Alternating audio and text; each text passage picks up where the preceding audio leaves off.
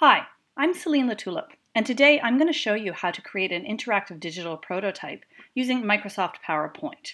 I'm using a Mac, and the version of PowerPoint I have may not be exactly the same as what you have, but hopefully it's close enough that you can follow along and replicate what I do.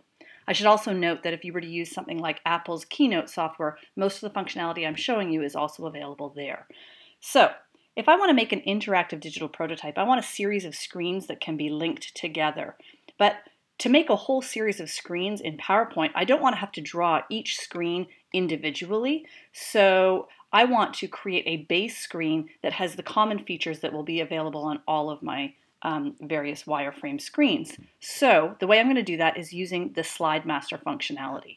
And so I go to the View menu and I choose Master Slide Master.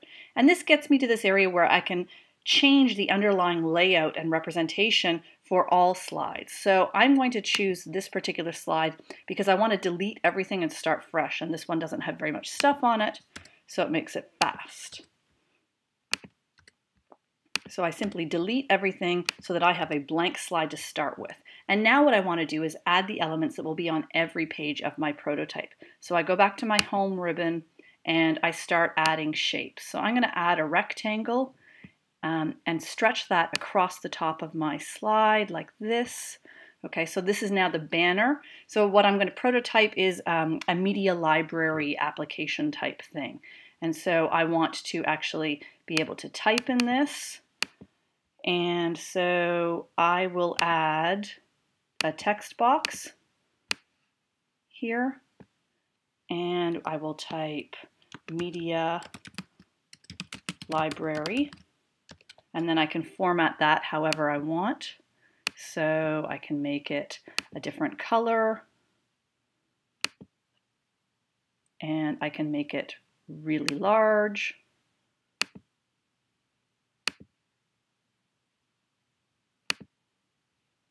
And I can make it bolded, that type of thing. Maybe that color doesn't actually work so well. Maybe we'll just stick with white or maybe black. Okay. Um, so there's my media library, and I can move it around so that my title is always going to show up in sort of the right place. Um, and now maybe I want to add a navigation view down one side, so I'm going to grab another rectangle and I'm going to set it up down here at the left-hand side. I think I'll change this to be a different color.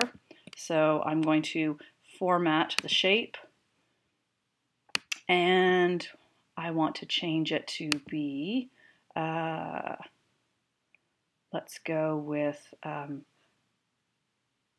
a green color. Okay, and now I can start adding text boxes here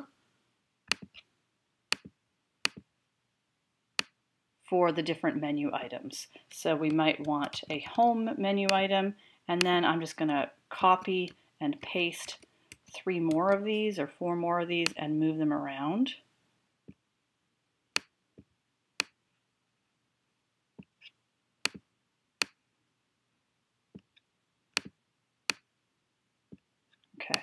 And I can use, the nice thing about using Microsoft PowerPoint is that I can use all the built-in types of features. So for format, alignment, there's a way to, here we go, to separate um, the spacing of these different elements. So the aligner distribute, and I know that's going off of the recording, but I'm going to go distribute vertically and now they're all spaced nicely. And then I'll change what these say. So maybe this is going to be um, add media, and maybe this is going to be uh, movies and music and books. There we go.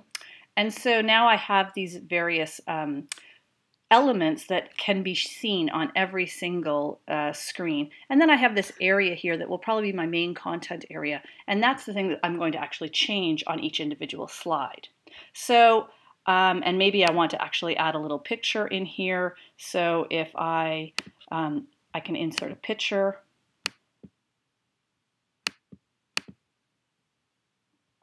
I'll go to my clip art folder and I will grab a red pen picture, and that's my icon for the media library. Maybe that's not the best icon, but it's an icon. So just to see that you can actually add pictures in here as well. All right, so now I can close my slide master by clicking this close master button. Okay, and now what you see is that now I'm, I'm on a page and it has these elements which I don't want because they were there from when I opened this presentation. But now I can actually add a whole bunch of new slides. So I can just keep on adding more and more of these. And so this makes it easy for me to have a whole bunch of slides that all have the same base elements and change what the, the individual content on each of them. And I can, because you can see here when I do this, there are other types of master slides, and I can change and choose other some other um, designs. So I could have maybe there's three or four pages that have some similar element on here. So I could make another master and use that one. So you're not limited to just making one sort of master template, but that's what I've done here. Okay, so now I want to add some various content. So um, maybe on this, I'll make this the home page and I'll add um, a big text box that says welcome or something like that. I'll add a text box here and it will say welcome to the library, library and we'll imagine it says a whole bunch of other stuff and I'm just going to type in some nonsense words so that you get the idea. Okay. Um, and maybe I'll just make that all a little bit bigger so it's more visible. Okay, so there's my main screen. And now when I want to go to this screen, we'll say that this is the add media screen. So again, we'll add a text box and it says um, choose which type of media you would like to upload. And then we can add some more text boxes. Um, so we'll say books and another one.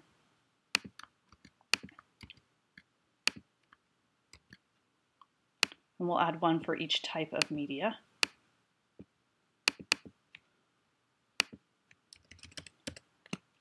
Movies and music.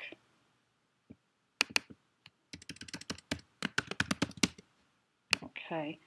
And we could actually put these onto shapes as well to make them look sort of more like buttons. So we can do something like that and send that to the back. Um,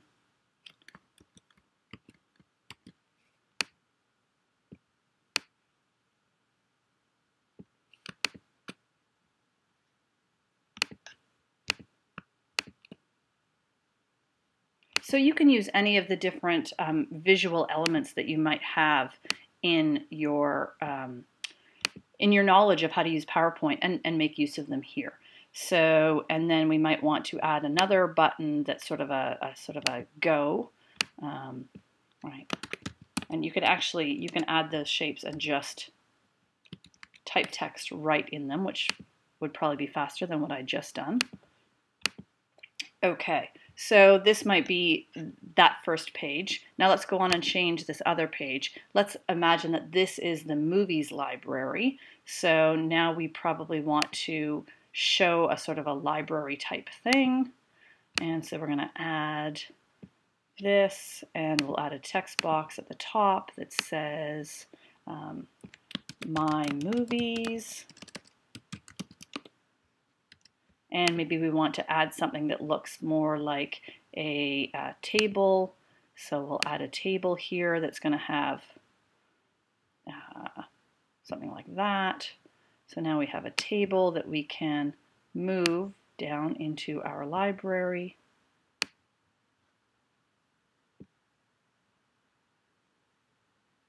And we'll just adjust this table so that it fits and adjust this table down. There we go. Um, we'll add some more rows.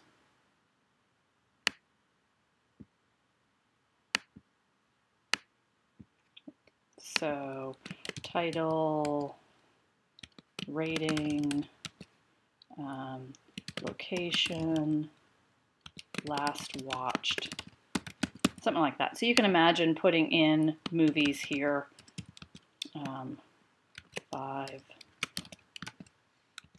etc. So you can imagine filling this out with various movies that you'd seen um, and or that you actually owned.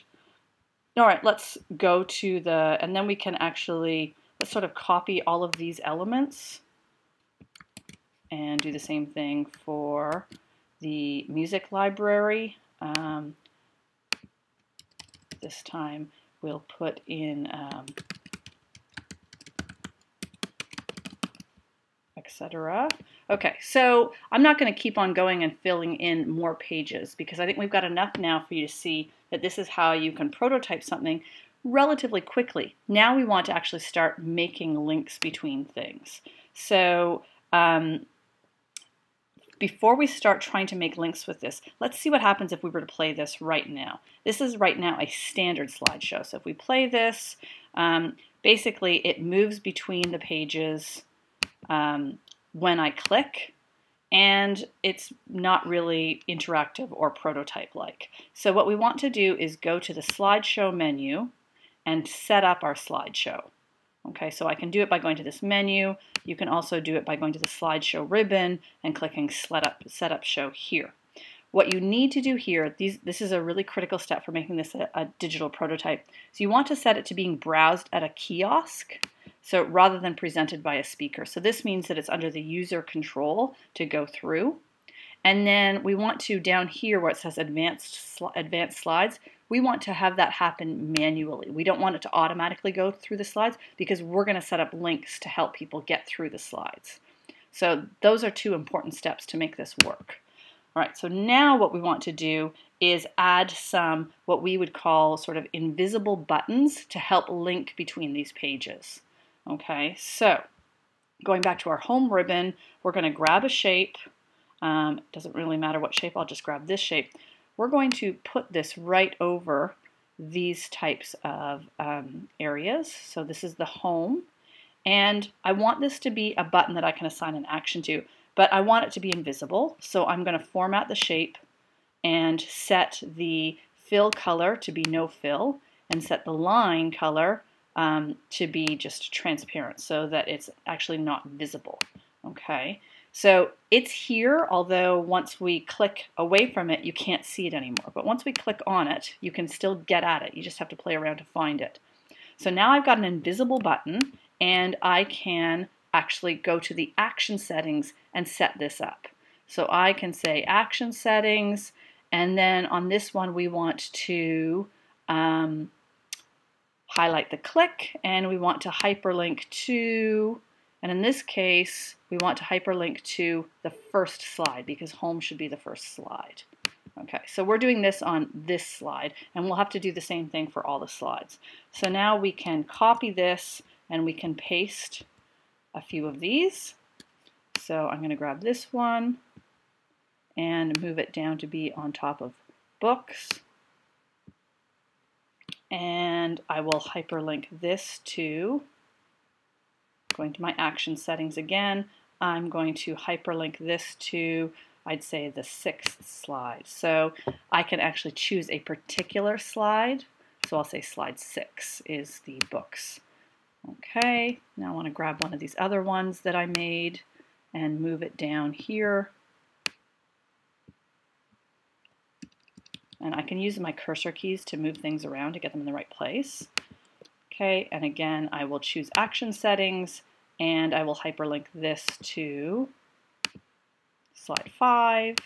Okay, I'm going to grab another one of these that I made and we'll put it over the add media slide.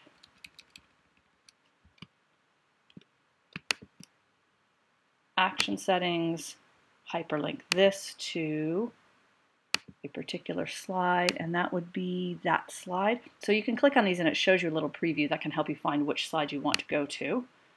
Okay, and I think there's one more. I need to make one more copy. And we'll put that over the movies movies title.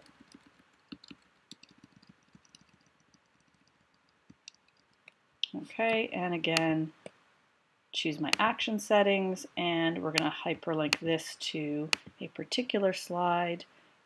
Uh, that's the movies slide. Okay.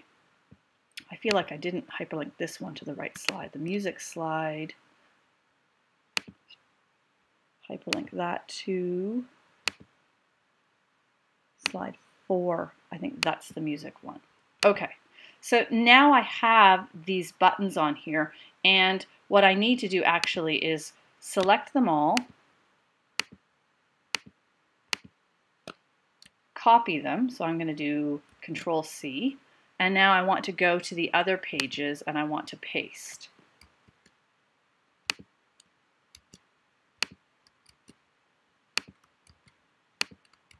So now I have these links on all of my pages. And so let's go ahead and actually run this prototype and see how the interaction works. So we can just go ahead and play show. Now this is going to be, we're not going to be able to see the whole thing because I'm only recording part of my screen, so you won't see the entire thing, but you'll see enough. Okay, so here's our thing. Here's our prototype, and notice as you drag your mouse over this that you, the cursor changes to highlight that this is something that's active. So if we go to the Add Media, we click, and it loads this page. And so of course we could add, make these active buttons as well. We haven't done that yet. If I click the movies button, it's going to go to the movies page. If I click the music button, it's going to go to the music page. From here, if I click the home button, it's going to take me back to the home page. So this is the way I can make a prototype that allows you to really experience and test the uh, interaction.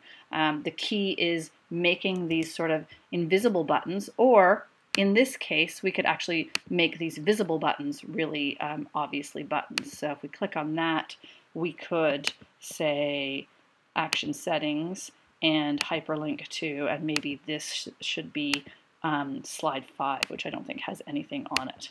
Okay. One of the other things that you might want to do is note that you can actually add mouse over hover type actions. So I'll just show you that quickly. So on this add media, sorry, on this movies button, I will right click, I'll go to action settings again, the same place. But here now at the top, there's this other um, sort of tab, the mouse over, and I can specify actions on the mouse over. Now, I don't want to hyperlink just on the mouse over, but I might want to at least highlight the item when the mouse is over. So I can do that and we can play and see what that looks like. So we play this slide now. These buttons, the cursor changes, but this button you can see you get this outline to see that there's an active area. So it gives a little bit more feedback for your prototype. Um, you could also have it play sounds. There's all sorts of things that you can set up. Okay, so that's it for using PowerPoint to create an interactive prototype. Um, there are instructions as well that I am going to post that you could download to give you some of the specifics. But hopefully that gives you a sense of how to make an interactive digital prototype using PowerPoint. And I guess the last thing to say is that the benefit of using something like PowerPoint is that you already know how to use this program. You know how to design slides, you know how to add shapes and do the ordering and the alignment. You're familiar with the interface and the tools, and that what that's what makes it powerful. That means the learning curve is really low. There's only a few little features that you need to possibly learn about in order to get the interactive prototype angle going. And that's really about setting up the slideshow with the kiosk setting and also using the slide masters if you've never done that before. Okay, Hopefully that was helpful. Bye.